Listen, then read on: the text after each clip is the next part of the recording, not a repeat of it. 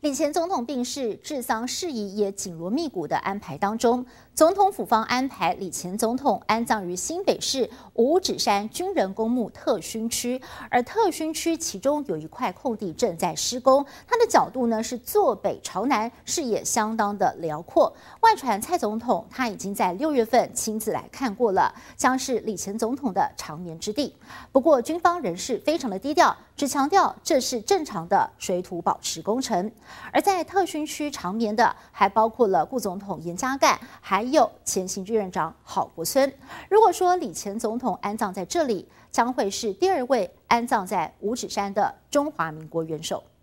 前总统李登辉病逝，现在总统府规划安排遗体在火化之后，将安葬在五指山的军人公墓特勋区里面。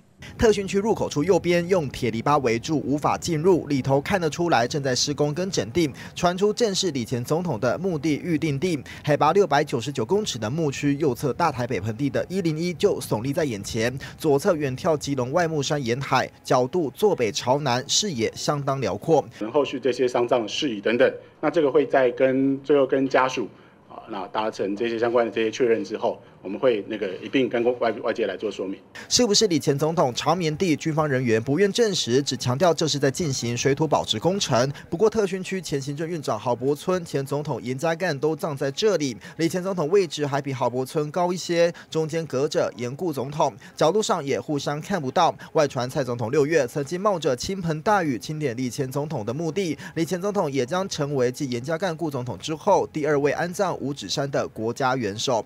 啊，最后。